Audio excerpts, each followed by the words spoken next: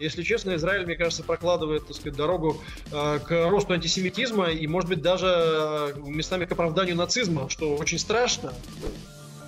Ну а насчет Третьей мировой войны, мне кажется, как раз столкновение на Украине, оно э, в этом смысле гораздо опаснее.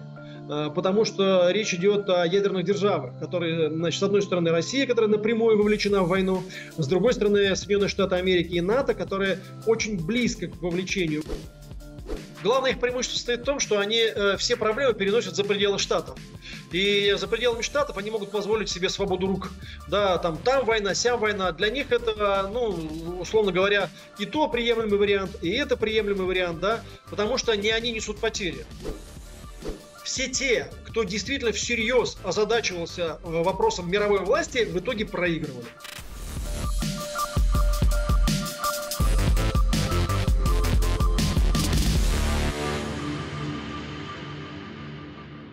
Сергей, здравствуйте. Здравствуйте. Обострение арабо-израильского конфликта, кроме того, что оно очередной раз показало всему миру, что любое такое обострение – это жертвы, в первую очередь человеческие жертвы, и среди мирного населения гибнут ничего не повинные люди и с той, и с другой стороны. Что еще до вас лично вот, э, скрыла эта ситуация? Честно говоря, ничего не открыл. В общем-то, все на самом деле достаточно предсказуемо, потому что этому конфликту уже много десятков лет.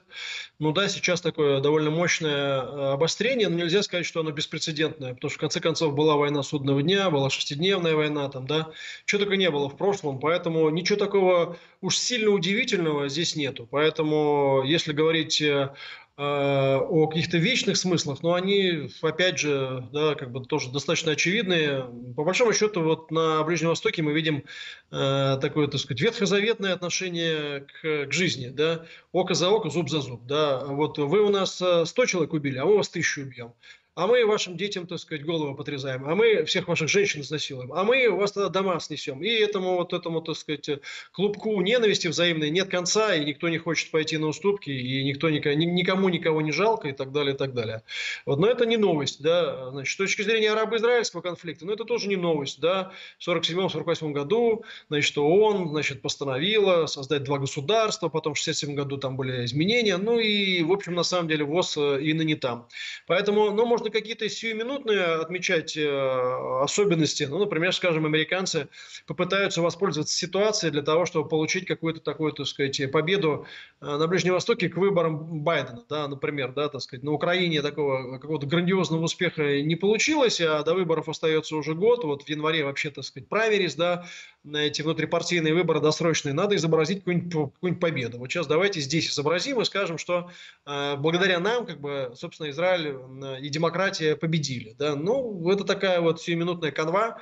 Э, вот. Да, наверное, еще раз мы видим, что э, для американцев, так сказать, война – это способ получения прибыли и решения собственных проблем. Но тут тоже ничего такого, если честно, откровенно нового прям такого я, я не вижу. То есть это все вызывает сожаление, и терроризм Хамас, так сказать, и жестокость э, Израиля, но, в общем, э, в этом смысле здесь ничего нового как бы в этом мире не произошло. Высказывания нынешних израильских политиков, но, честно говоря, можно действительно сравнить с высказываниями э, нацистских лидеров по поводу евреев. Да, и здесь возникает вопрос, слушайте, ну а вы правда значит, э, за то, чтобы жизнь человека была превыше всего, или вас это интересует только в применении к своим собственным интересам, потому что вот это вот сравнение э, высказываний израильских лидеров и нацистского рейха и воспоминания о они просто стали повсе, повсеместными. Если честно, Израиль, мне кажется, прокладывает, так сказать, дорогу к росту антисемитизма и, может быть, даже местами к оправданию нацизма, что очень страшно, и причем еврейские лидеры явно этого не замечают. Вообще, на мой взгляд, мудрость еврейского народа в свете нынешнего конфликта конфликта а, несколько преувеличенная оказалась, то есть, как минимум, да, вот, как их, как их, так сказать, да, вот это тоже эго такое раздутое в отношении вот этой ситуации. Ну, опять же, здесь, когда вы спрашиваете, почему именно сейчас, мы с вами этого не определим, потому что есть целая, так сказать, куча теорий по поводу того, а почему вот это все происходит. У меня вот конкретного вот объяснения этому нет. Одни считают, что это э, чистая воды, так сказать, конспирология, что Хамас создан как был самим Израилем, так сказать, а американцы, для американцев, значит, э, вот этот хаос, э, он выгоден, потому что, значит, они разрушают национальное государство, они же стимулировали в свое время и такой радикальный ислам, для разрушения арабских государств на Востоке. Там, ну, правда это? Ну, может быть, отчасти правда. Другие говорят, что значит, ситуация сложилась таковой, потому что Хамас решил сейчас привлечь внимание, э, потому что, так сказать, автономию палестинскую стали размывать, и фактически как бы, вопрос о государстве палестинском, так сказать, отошел вообще на какой-то десятый, там, пятнадцатый план. Ну, третий, это соединяют с интересами Турции, там, четвертый, с конфликтом на Украине. Мы с вами концов не найдем здесь. Я думаю, что э, причины, как обычно у любого такого события, они такие многоуровневые. Одной какой-то, одной какой-то конкретно нет. Просто для нас сейчас, да, это совпало э, с конфликтом э, значит, на Украине. Вот, и мы проводим параллели. Но я, честно говоря, вот так прямой вот связи, если честно, да, вот такой прямой, вот однозначной прямой связи между этими событиями не вижу. Другой вопрос, что кто-то может использовать это, да, э, как в, при, в приложении к конфликту на Украине, так и в приложении, так сказать, к конфликту в Израиле или ближневосточной ситуации. Вот, и можно чему угодно найти объяснение. Но сказать, что вот, например, я, например, рискую там, условно говоря, дать им стопроцентно четкое определение, почему именно сейчас, но у меня такого определения, честно говоря, нету. Конечно, очень хочется, так сказать, оказаться невероятно умным, как бы, но мне кажется, такого, э, такое ответ будет, э, ну, такой немножко притянутый за уши. Ну да, вот говорят, что вот э, у Байдена завис пакет помощи Украине, и они решили сейчас пропихнуть одновременно пакет помощи Украине, Израилю и э, Тайваню, и это в пакете сделать легче. Но, э, значит, предположить, что ради этого, собственно, они как-то стимули, стимулировали Хамас, ну, если честно, мне кажется, это будет большая, большая натяжка. Ну, то есть, смысл в том, что есть ли всякие хитрые планы, у закулисья всякого, как бы, которые все время реализуются. Есть. Но одновременно с этим есть и момент э, случайности, есть и момент человеческих ошибок, вот есть и момент совершенно субъективных э, значит, обстоятельств или их совпадений. Вот, и обычно в жизни все это перемешано в, в такой в очень сложный клубок. Я думаю, здесь примерно то же самое. Тем не менее, когда это все начиналось, э, очень много звучало таких оценок, что вот, мол, все, здравствуйте, вот она Третья мировая, вот она начинается. И почему так рассуждали люди? А, потому что, смотрите, вот Иран, который сейчас вот-вот вступит, вот Турция, которая тоже не молчит по поводу этого конфликта, но сейчас, вот э, немного времени прошло, таких оценок уже нет. Мне кажется, это связано с тем, э, что в наш мир информации слишком большое количество людей стали заниматься непрофильной деятельностью. Все считают себя специалистами в политике, все все читают, все все смотрят, все дают прогнозы, каждому надо отписаться по какому-то вопросу. Ну, а понятно, что плохие новости, во-первых, лучше продаются, а во-вторых, как бы у, у многих действительно такое катастрофическое сознание в голове, э, усугубленное действительно сложными, реально кризисными событиями. Оно вот чуть что-то, сразу конец света, апокалипсис. И вообще, ну, э, скажем так, с религиозной точки зрения, конечно, вот это все более и более частое упоминание, апокалипсиса, конечно, о чем-то говорит, но вообще-то это тоже стало расхожим словом. Посмотрите, в новостях там, условно говоря, дождь пошел, как бы, да, э, прогноз погоды говорит, апокалипсис на улицах там этого самого. Я вас уверяю, что когда начнется апокалипсис, э, конец света, вы этого не пропустите. Да, не, я вас уверяю, что вам не придется узнать об этом из новостей. Вы сами поймете. Уж не говоря о том, что апокалипсис в переводе на русский это откровение, а не конец света. Да, откровение Иоанна Богослова. Вот. Ну а насчет Третьей мировой войны, мне кажется, кажется, как раз э, столкновение на Украине, оно э, в этом смысле гораздо опаснее. Э, потому что речь идет о ядерных державах, которые, значит, с одной стороны Россия, которая напрямую вовлечена в войну, с другой стороны Соединенные Штаты Америки и НАТО, которые очень близко к вовлечению в эту. Там действительно, как бы, да, э, опасность достаточно, э, достаточно серьезная. Что касается Израиля и всех этих угроз, там, условно говоря, Ирана вступить или ударить по Ирану, мне кажется, там больше слов. Здесь надо, на мой взгляд, ну, больше понимать Ближний Восток. Очень часто, а, еще раз говорю, да, люди, которые плохо в этом разбираются или разбираются по заголовкам, но начинают выносить суждения, свойственные их взгляду на жизнь. А на Востоке вообще вот эти вот обещания, так сказать, порвать, зарезать, так сказать, да, оторвать голову, там, да, это обычное дело. Это обычное дело. Все сейчас вступятся, сейчас все арабы встанут, так сказать, да как они вступятся. Слушайте, таких случаев уже было ВОЗ и маленькая тележка. Вот, однако там того, иного, пятого не случилось. На самом деле, насколько я понимаю, ни Иран, немногие другие не хотят как раз большой войны, потому что она им не нужна. А вот другое дело, если уж кто хочет конспирологических теорий, что, возможно, кто-то пытался их втянуть в это дело, да, кто-то пытался это сделать, да, но вот э, пока ситуация э, немножко, немножко подвисла. Вот, собственно, и все. То есть вот, хаотизация процессов нарастает, это правда. Вот. Но в том числе поэтому нарастает нервозность, и огромное количество людей чуть что начинают пророчить Третью мировую войну, конец света и так далее. Ну, к конфликту, который ближе для нас, ну, соответственно, и острее, и больнее конфликту на Украине, то положение дел, которое вот сейчас, когда ну, так сказать, и не туда, и не сюда. И вот сейчас осень наступает, и многие опять стали говорить, что вязкая земля, какие-то активные действия очень затруднены. Хотя, ну вот если вспоминать Великую Отечественную войну, ну, на такие вещи, по-моему, мало обращали внимания. А если обращали внимание, то принимались соответствующие меры. Вот это положение дел, на ваш взгляд, долго продлится еще? Как мне кажется, опять же, я не в курсе этих э, всех тонкостей, да, я, так сказать, не имею никакого отношения там э, к принятию решений и какой-то там закрытой информации, могу только со стороны на это смотреть, да, но, как я понимаю, Россия э, не считает, так сказать, возможным переходить в наступление, потому что это повлечет за собой, так сказать, очень серьезный расход ресурсов и предпочитает ждать предпочитают ждать в ситуации, когда украинское наступление удалось в целом как бы остановить, там, там, ну, как бы, э, больших успехов они все-таки, украинские войска не достигли, да, и предпочитают ждать как изменения эм, политической ситуации, так и изменения баланса сил. Вот что касается Украины, ее попытки наступать э, приводят э, к расходу большого количества, так сказать, ресурсов, к большим потерям, и она бы, может, и рада наступать, да не может, ну, не получается, вот, то есть Россия, наверное, могла бы, но э, ясно, что это будет связано с там, ну, очень серьезным ростом потерь, как бы, и сейчас она этого делать не хочет, поэтому, как мне кажется, руководство просто выжидает, да, выжидает возможного изменения внешнеполитического фона и так далее, и так далее. А Украина хотела бы, да не может, хотя ее к этому подталкивают американцы, европейцы и все остальные. Вот, собственно, и все. А что касается сравнения с Великой Отечественной войной, ну, понятно, но там как бы ставки были другие. Это раз. А, во-вторых, мотивация была другая. Это два. И в-третьих, там а, было задействовано ну, кратно большее количество ресурсов, потому что в боевых действиях участвовали там десятки миллионов людей. Да? А, вот, собственно, и все. Ну и уровень потерь тоже был кратно гораздо более серьезный. Но на такой уровень потерь, так сказать, да, сейчас, так сказать, никто, никто идти не хочет, не может, и не считает нужным и так далее.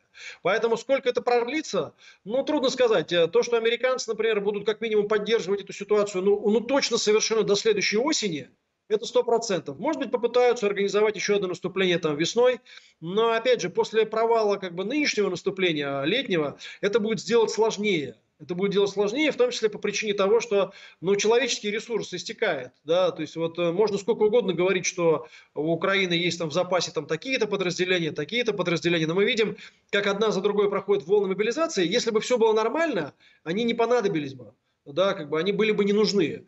Вот. А Россия так или иначе, как бы, да, вот вроде бы набрала э, там 300 тысяч человек э, по контракту, и пока, как бы, да, пока вроде как э, значит, готова, готова этими силами действовать. И я думаю, что вот Россия будет делать то, что называет Путин активной обороной. Украина будет говорить, что наступление идет только медленно-медленно, как в том старом анекдоте, так сказать, крокодилы, если летают, то низенько, низенько. Вот, примерно вот так вот оно, собственно, и будет. Плюс тут же учтите, например, в марте месяце выборы президентские в марте месяце президентские выборы и в России, и на Украине, а осенью президентские выборы в Штатах. Да, то есть э, э, как-то эти даты могут повлиять? Ну, наверное, могут повлиять. Наверное, могут повлиять. Э, я думаю, что, например, скажем, Путин, скорее всего, не будет делать резких движений до выборов. Э, да, как бы Зеленский, наоборот, будет пытаться что-то продемонстрировать до выборов. Э, вот. А Байден будет в любом случае толкать, значит, Зеленского в спину тоже до выборов осенних, чтобы получить что-то да, к своим, так сказать, к своим выборам. Причем, ну, если говорить о Путине и Зеленском, я думаю, так или иначе они переизберутся. Вот. А что касается Байдена, то там ситуация пока, так сказать, не очень понятная. Надо сказать, что его ставки в этом смысле даже в чем-то даже, ну, может быть, э, в чем-то выше, э, чем, например, скажем, у Путина и, э, и, даже, и даже у Зеленского. А, если отбросить вот фактор выборов, да, который действительно так или иначе будет играть, конечно, свою роль, вот вы упомянули о том, что Россия будет дожидаться изменения баланса сил некоего.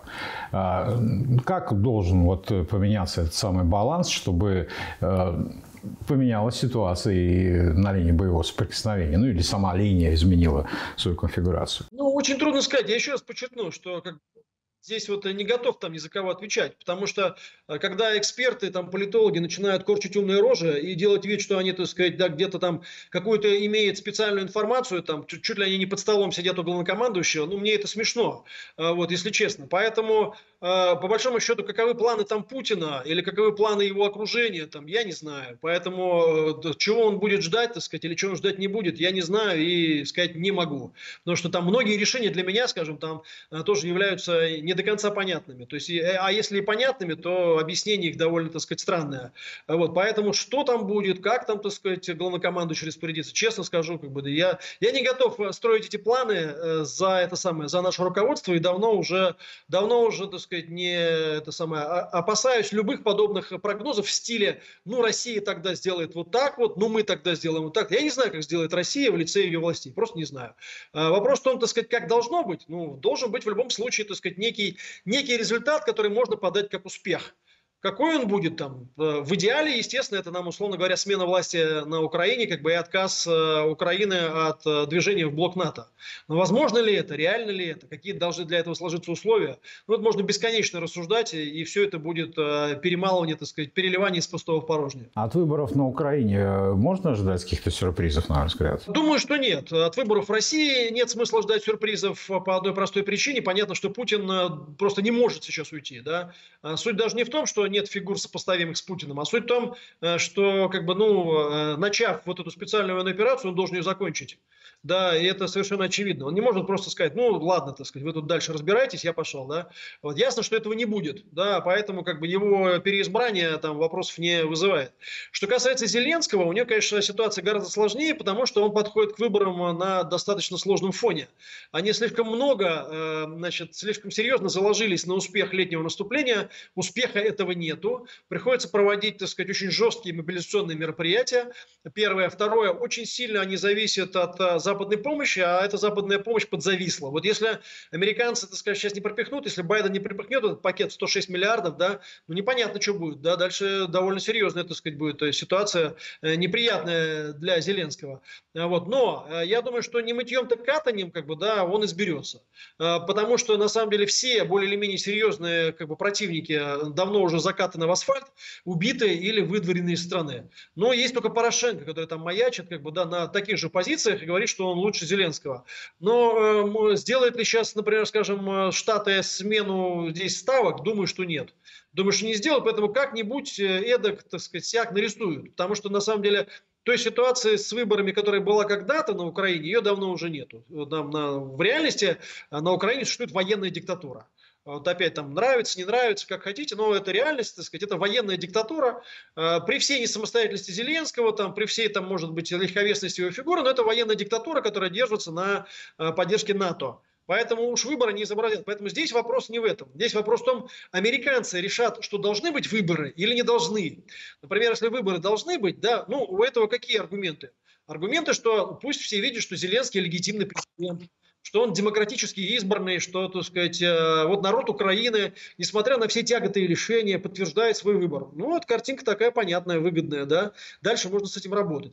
С одной стороны. Но с другой стороны, вот, например, если сидеть там чисто, так сказать, как какой-нибудь аналитик ЦРУ сидел бы, но теоретически можно и подвесить Зеленского. Взять и, например, насоветовать ему не проводить выборы сейчас, да, в связи с, там, условно говоря, с военной ситуацией, как бы взять и отложить их, да, тогда э, легитимность Зеленского становится половинчатой, а его управляемость и зависимость э, от внешних э, значит, э, этих самых рычагов еще больше. В этом случае чего, как бы от него избавиться не страшно, потому что, ну а что, он вот непонятно свою, так сказать, эту самую, свой срок выборов отсидел, а дальше неизвестно что. То есть, грубо говоря, Вопрос в том, как бы, да, как Штаты решат, что делать. Я думаю, что они будут склоняться, конечно, к переизбранию Зеленского. И я не верю ни в какую замену Зеленского на еще кого-нибудь. Вот, э, но вот э, думаю, что он изберется, но просто с большими проблемами, потому что придется, конечно, там, видимо, им э, значит, потрудиться, так как фон на самом деле становится хуже, а не лучше для него. Если в России, например, самый так неблагоприятный фон на самом деле был в период мобилизации, да, вот осенью прошлого года, да, больше всего было, значит, всяких тревог, больше всего было страхов, больше всего было какого-то такого, так сказать, осеннего, осеннего и осенней неуверенности, и так далее, и так далее, то сейчас, э, когда ну, санкции на самом деле там экономику не обрушили, наступление украинское не прошло, западная техника, значит, чудодейственного результата не дала, э, второй волны мобилизации нету, э, да, для Путина более, более, так сказать, стабильная ситуация, это совершенно очевидно, поэтому у него проблем не будет. Для Зеленского а, как бы все наоборот, вот все ровно наоборот. Западная техника, на которую так полагались, значит, не помогла, наступление, которое так разрекламировали, так сказать, не удалось, помощь зависает, теперь гребут всех подряд, включая, так сказать, женщин, так сказать, и говорящих собачек, как бы, да, и дальше конца и края этому не видно, все темнее и темнее, все мрачнее и мрачнее. Очень много шума наделала в западной прессе последняя встреча Путина и руководителя Китая. Прямую пишутся, что это очень опасно для Соединенных Штатов. В чем эта опасность, на ваш взгляд? Я не знаю, пусть американцы думают, в чем опасность. Мне кажется, они тоже, мы иногда переоцениваем их там, знаете, какую-то э, хитромудрость, как бы, вот они там, вот американцы сказали, то американцы сказали, все, американцы тоже всего лишь люди. Вот они могут ошибаться, у них очень большая машина, она периодически пробуксовывает. Главное их преимущество состоит в том, что они э, все проблемы переносят за пределы Штатов. И за пределами Штатов они могут позволить себе свободу рук. Да, там, там война, сям война. Для них это, ну, условно говоря, и то приемлемый вариант, и это приемлемый вариант, да, потому что не они несут потери, а они только считают дивиденды военно-промышленного комплекса. Поэтому, мне кажется, у них иногда мы переоцениваем вообще их э, контроль за ситуацией, как бы, и их вот такую, так сказать, системную проработанность всего, что у них происходит. Поэтому, что там пишет пресса, там, ну, пресса написала, что это вот такая опасность, там, кто-то из экспертов что-то сказал, да, вот есть ли это опасность или нет, это такая вещь ситуативная, да, скандальная, скажем, да, но если говорить в долгую, то э, первое, Штаты проиграли Россию, это правда, потому что, конечно, главный приз э, холодной войны, да, э, было не только распад Советского Союза, но и сама Россия как контрольная территория. Россию как подконтрольную территорию они потеряли. А вторая потеря, это, конечно, Китай. Э, значит, попытки тоже сделать Китай, так сказать, партнером, они тоже провалились, да, и провалили их в первую очередь демократы из Байденовской, из Байденовской партии, ну, а потом уже, так сказать, естественно, там все остальные. Вот, поэтому вот это является данностью, это более долгосрочная тенденция, это так. И на этом фоне э, Американцы много десятков лет говорят о том, что нельзя допустить сближение России и Китая, но делают по факту все, чтобы это сближение состоялось. И оно происходит. Вот. А конкретные там встречи Си Цзиньпиня или там Путина, мне кажется, тут тоже больше шума. Они говорят, вот это вот первый визит Путина с момента начала на специальной военной операции в крупную такую вот страну. Ну и что, подумаешь, они думали, что его не будет, что ли? Или что, э, значит, китайцы от этого откажутся. Ну это было смешно. Понятно, что он полетит туда, было сразу ясно. Понятно, что этот визит готовился. Понятно, что китайцы демонстративно встретили его, так сказать, вот так вот очень хорошо. И Э, назвать это неожиданностью, но это как-то странно, да, поэтому я думаю, что в целом этот визит ничего не изменил. Другой вопрос, что тенденция для американцев действительно плохая, действительно плохая. Они проиграли э, значит, э, борьбу за ценностное идеологическое лидерство. И теперь Запад окукливается, фактически огораживает себя и своих союзников. И постепенно дело идет к тому, что значит, западная цивилизация против всего остального мира. И это на самом деле большая неудача, потому что настоящей победой Штатов – было бы э, полная и искренняя солидарность всего мира с ценностями Соединенных Штатов Америки. А этого они добиться не смогли, в том числе, в первую очередь, из-за своей, мне кажется, усколобости, наглости, так сказать, и хамства. Но, видите, все это время демонизировали Россию, демонизировали, демонизировали, а сейчас уже, получается, э, возник новый такой, э, сам себя стал демонизировать Израиль. Тут такое раздвоение у них тоже сложное очень не то, чтобы он сам себя демонизировал, просто мы на какое-то время забыли, как бы, да, я напомню там, да, значит, эти э, тезисы советской пропаганды, как бы, израильская военщина, значит, оголтелый сионизм там и все, что с этим связано. Просто мы погрузились э, вот в эти 30 постсоветских лет, ну, условно говоря, в попытку все это забыть, да, и сделать вид, как будто этого не было. Но это, знаете, как в том вот э, старом анекдоте, э, таком э, позднесоветском, постсоветском, там, знаете, все, что газета «Правда» писала нам про коммунизм, оказалось враньем. Но все, что газета «Правда» писала нам про капитализм, оказалось правдой. Вот, собственно, и все. Да. Поэтому мы вот в этой ситуации находимся. Мы долгое время сами себе, так сказать, рассказывали сказки про то, что на самом деле все не так, как было, но жизнь сложнее что-то не так, как было, а что-то именно так, как было. Именно так, как, так сказать, нам, собственно говоря, это объясняли. Поэтому для арабского мира Израиль демонизирован уже много-много десятков лет подряд. Для них это вообще не новость. Да? Новость э, является, заключается вот в чем. Новость заключается в том, что, например, а, значит, в Америке и Европе появились с тех пор огромные мусульманские диаспоры, просто огромные. Поэтому там 30-40 лет назад Европа и Америка, они таких проблем с мусульманами не имели, а теперь будут иметь благодаря собственной миграционной политике. Да? А, например, это первое и самое так сказать, тяжелое для них, самое важное. Это фактически так сказать, у них внутри, да, как бы оппозиция у них внутри находится. Да? Второе, нынешнее так сказать, положение Израиля фактически разрушило любые ситуативные союзы Америки с арабами. То есть, если раньше в Америке там, с, этими государствами там, были отношения так сказать, конфликтные, а вот зато с этими были союзнические. Но теперь по вот, вопросу этого никто из арабских государств государств с американцами не готов соглашаться. Ну и третье, но это уже вот в меньшей степени, это касается России, да, потому что Россия довольно долго после распада Советского Союза, она с Израилем пыталась выстраивать, ну, максимально такие, так сказать, дружеские отношения. А сейчас она, э, значит, э, отчасти вынуждена, отчасти, так сказать, совершенно осознанно занимает скорее проарабскую позицию. Ну, точнее, так сказать, позиция ну, такая простая. Мы против терроризма Хамас, но, значит, мы не можем поддерживать Израиль. Это связано с целым рядом э, обстоятельств. Первое, то, что э, действия Израиля действительно вызывают, честно говоря, так сказать, э, оторопь да, у многих и высказывания его политических деятелей, там совершенно какие-то человек ненавистнические. Второе, американцы и все НАТО вступились за Израиль, как бы говорят, что это главный их союзник, а у нас с американцами и НАТО, ну, откровенно, отношения на, балансируют на грани войны. И третье, на самом деле, это отношение Израиля к украинской ситуации. Если бы Израиль хотел бы изменить э, ситуацию на Украине, он, у него есть масса рычагов влияния на эту ситуацию. И было раньше, и есть сейчас. Но они ничего не делают они ничего не делают, более того, местами, так сказать, даже высказывают такие неявные симпатии в отношении власти на Украине. Понятно, что российское руководство этого не может не замечать. Вот, и я думаю, что это тоже наложило отпечаток. Поэтому, э, поэтому так сказать, Израиль в этом смысле и, и не надо даже ничего тут придумывать. Вот, просто ситуация сложилась, складывается явно не в его пользу. Но это еще раз э, повторяю, как бы, да, здесь общая тенденция такая. Большую историю э, за искреннее лидерство в мире американцы проиграли парадоксально, но несмотря на распад Советской, Советского Союза и блока стран, они проиграли эту историю. Они не смогли вытянуть ее. Им не хватило ни души, ни ума, ни сердца для того, чтобы ее вытянуть. А теперь начинается ситуация, когда западный мир окукливается срочно, да, как бы, и начинается такая, значит, война западного мира со всеми остальными. Где-то более э, горячая, где-то менее. Но факт тот, что они ни в коем случае не готовы принять ситуацию вот ну, нарождающейся многополярности и идут везде на конфликты. Тогда, если значит, вы нас не любите, если так по-простому, американцы фактически говорят, если вы нас не любите, мы будем устраивать вам проблемы везде и всем. России, Китаю, так сказать, это самое, Ближнему Востоку. Вот. А вы расхлебываете эти проблемы, а мы будем зарабатывать на этом деньги, ха-ха-ха. Но это ха-ха-ха, так сказать, такое, в общем-то, не очень э, хорошее, потому что если в долгую смотреть, это, конечно, такой, так сказать, э, э, путь под, немножко под уклон для лидерства западной цивилизации. Потому что лидерство с точки зрения, как бы, у нас больше денег и оружия, поэтому мы будем создавать вам проблемы, а вы что хотите, то делайте, это не лидерство называется. Это называется не лидерство, это называется, так сказать, э, ну, такой серьезный конфликт, и еще неизвестно, чем он для них кончится.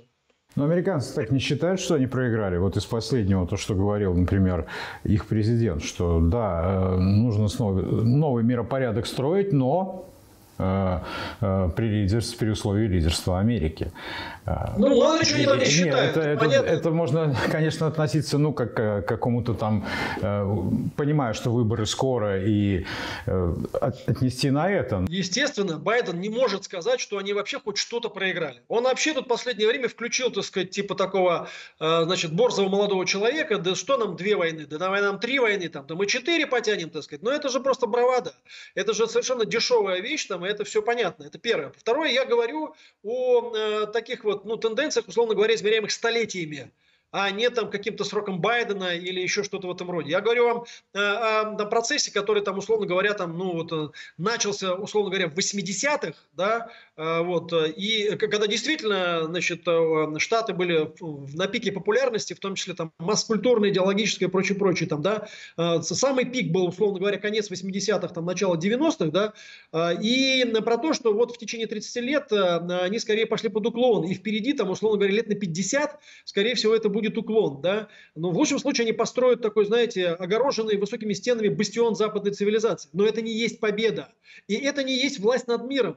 Вот власти над миром как бы у них больше нету и, скорее всего, не будет. Вот в чем дело. Но понятно, что они вам ни за что в жизни не признаются в этом, потому что из этого надо делать выводы. Поэтому, да, они сейчас будут говорить, да мы, да это. Байден говорит, новое, так сказать, будет мироустройство. Ему надо чем-то заразить публику. Сам он старый, как бы, да, все уже да, еле ноги двигает. Ему надо в дихотомию, это как любой избир... политтехнолог предвыборный, он скажет вам, значит, выделяются недостатки кандидата, для того, чтобы их погасить, выстраивается такая, такой, так сказать, визуальный, риторический, так сказать, ряд, да, событийный ряд, который гасит, э, закрывает или там э, перекрывает все его недостатки. Вот это одно из этих, это простая технологическая штука. Вы говорите, что Байден, он же ничего не может, да, его на это самое еле ноги волочит. А вот смотрите-ка, он и две войны потянет, как бы, и он, ну, сейчас новый мир, мировой порядок там. Что он там будет делать? Доживет ли он? Это другой вопрос. Но сейчас надо взбудоражить, там, условно говоря, его потенциального избирателя, заразить его какими-то перспективами, открыть ему там будущее. Если говорить о власти, о власти над миром, вообще, на ваш взгляд, это достижимая вещь или это такое из области сказок или фантазии? Я вам так скажу, я как человек верующий, так сказать, читал, читавший откровение Иоанна Богослова, думаю, что в какой-то момент, наверное, это достижимо. Да, но даже у Иоанна Богослова говорится о том, что ненадолго. Вот, и потом как бы дорухнет. На, э, в практической плоскости, э, вот в наше историческое, так сказать, что называется, бытие, я думаю, что это вообще вещь неосуществимая. Более того, посмотрите, как бы, да, ну, если так даже просто вот по верхам пробежаться по мировой истории, все те, кто действительно всерьез озадачивался э, вопросом мировой власти, в итоге проигрывали. В итоге проигрывали, как бы, я думаю, что такая же участь на данном, по крайней мере, этапе постигнет и Запад. Вопрос только в том, насколько это растянется и в какой форме э, это будет реализовано. Все вот эти попытки, значит, всех людей сделать одинаковыми, э, все попытки, так сказать, всех построить там в трусах на подоконнике и всеми управлять, э, они э, просто э, не способны э, быть обеспечены ни идеологически, ни ресурсно, вот, ни, ни военным даже путем, ну просто никак. Да, и сейчас мы это уже видим видим. Да? В 90-е годы еще можно было бы для тех, кто по верхам, так сказать, скользил, э, сказать, ну вот смотрите, все, как бы вся власть над миром у американцев, просто она другая. Да, она вот по-другому реализуется. Сейчас уже это не так. Уже сейчас это не так, хотя по историческим меркам прошло совсем немного времени.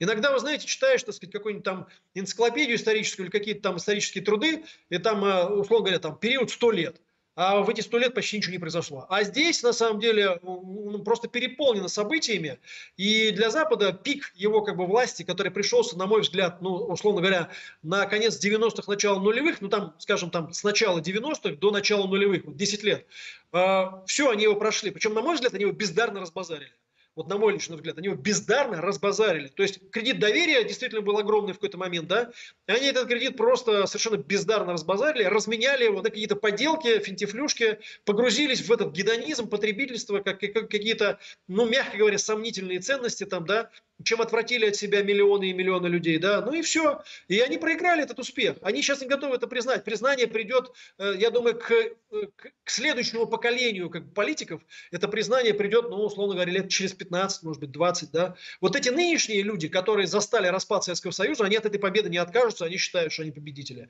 Следующие будут думать, вот это, это совершенно точно. Я думаю, что власти над миром в том виде, в каком они, они когда-то мечтали, им не светит. Но они, конечно, технологически будут успокаивать себя тем, что э, у них все равно есть власть, а, вот, но она просто по-другому реализуется. Я бы сказал так, это уже не власть, это влияние. Это не одно и то же. Да, влияние у них есть, несомненно, а, вот, но власти, как таковой, полно, вот, полноценной власти у них уже нету. И если она и была, то это был очень-очень короткий период. А вот э, когда начнет увидать, так сказать, зеленый доллар, тогда даже и влияние начнет идти на убыль. А он будет увидать. Э, никуда совершенно от этого не деться, потому что американцы не могут больше предложить ничего привлекательного. Э, доллар стал, так сказать, э, инструментом наказания. Да? Они разрушают институт банковской тайны, они используют доллар в качестве наказания, они используют значит, долларовые платежи для отслеживания информации по вам, они начинают людей давить долларом. То есть, когда доллар был действительно как бы такой универсальной платежной единицей, вот эти времена тоже прошли. А теперь он становится больше кнутом.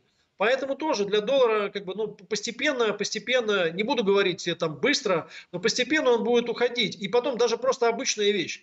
Э, э, значит, почему американцы не хотят э, дальнейшего роста Китая? Потому что чем больше будет Китай, тем больше будет весь юань. И тем меньше будет весить доллар. Вот, собственно, и все. Но дело в том, что они уже не могут ничего сделать с этим. Но действительно, устроить Третью мировую войну, уничтожить Китай, Россию, там, условно говоря, поставить на колени там, всех остальных. Ну, тогда и себя уничтожить, это же Что ты делаешь? Если бы, если бы у них был односторонний инструмент такой, они давно бы его применили.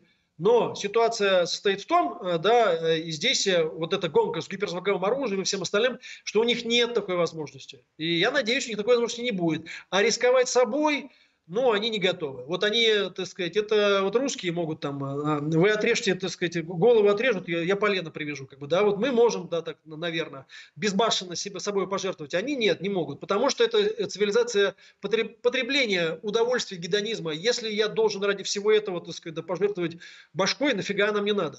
А когда я буду получать удовольствие, так сказать, а когда же мне жить, так сказать, пить, есть и все остальное, да когда мне получать вот, ну, весь этот кайф, так сказать, от жизни, если вы хотите, чтобы мы все сгорели, ради чего? Вот так. Поэтому я думаю, что э, мировая власть в этом смысле, она потихоньку уходит из их рук. Другой вопрос, и она, скорее всего, не осуществима. Может, на другом каком-то, каком витке вернется опять какие-нибудь там, не знаю, сейчас какой-нибудь халифат, там, например, мировой, там, да, начнут пытаться строить. Вообще, там, условно говоря, там дьявол с этими идеями заходит периодически, только просто меняется цвет знамени. В руках у разных людей меняется, так сказать, цвет знамени. То такой цвет знамени, то такой. Вот дайте нам мировую власть над всеми. Плохих людей мы всех убьем или заставим быть с нами, а хорошие люди, так сказать, построят э, счастье. Вот не было этого и не будет никогда. Вот на мой личный, на мой личный взгляд. Поэтому э, и у Запада это тоже не, не получается уже. Вопрос только в том, что это может растянуться очень надолго и может иметь, конечно, массу таких вот всяких болезненных последствий в виде войн, кризисов и всего остального. Да, самое видное и самое горькое в том, чтобы, чтобы в очевидных этих вещах, в общем-то, убедились и все, Э, почему-то нужны человеческие жертвы, причем в огромных количествах. Вот. Вот этого, к сожалению, пока э, не научилась э, наша цивилизация, я имею в виду всей планеты Земля, как-то избегать при решении тех или иных вопросов власти или так далее, и так далее. Ну, не знаю, может быть, когда-то научится. Спасибо вам огромное, Сергей, за этот разговор.